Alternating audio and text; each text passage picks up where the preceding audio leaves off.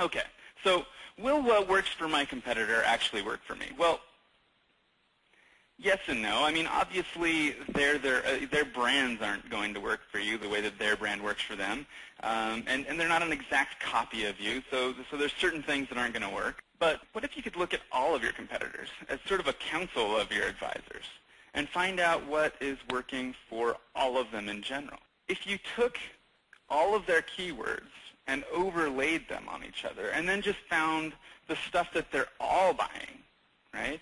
You would eliminate the differences between the, the individual differences between your company and your competitor. You'd eliminate all their branded keywords, which you know are, are very profitable for them, but they're not necessarily going to be as profitable for you, or they're not going to be as profitable for you.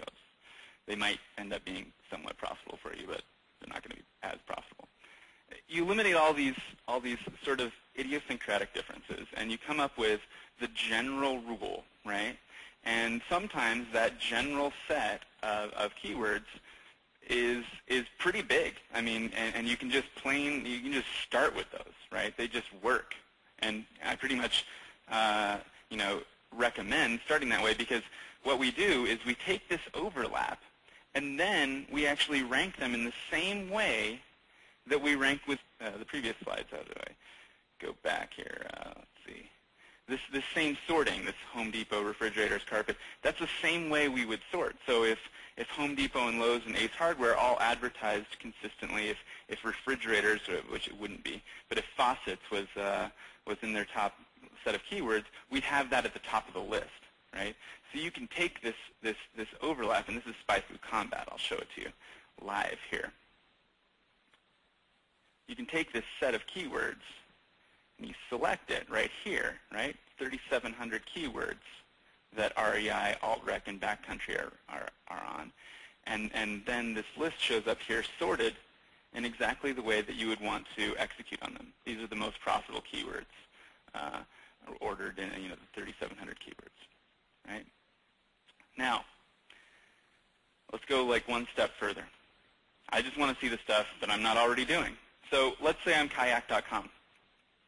And uh, Travelocity and Expedia are two of my competitors. I'm already advertising on a list of, you know, 50,000 keywords. It's, you know, these, these guys spend a lot of money.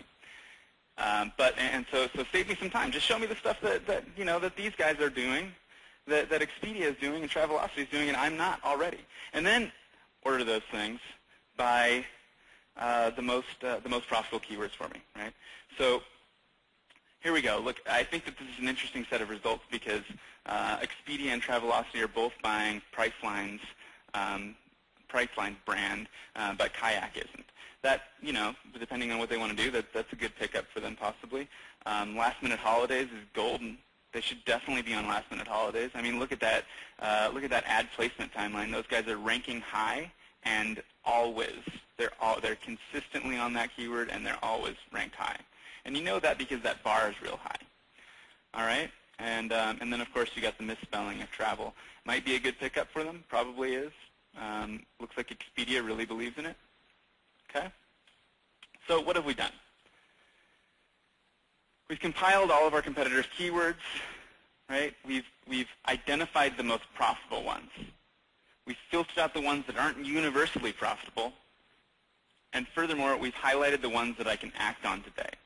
And that's what we're that's what we spend our time doing, focused on at SpyFu, is trying to like make you uh, give you things that you can act on.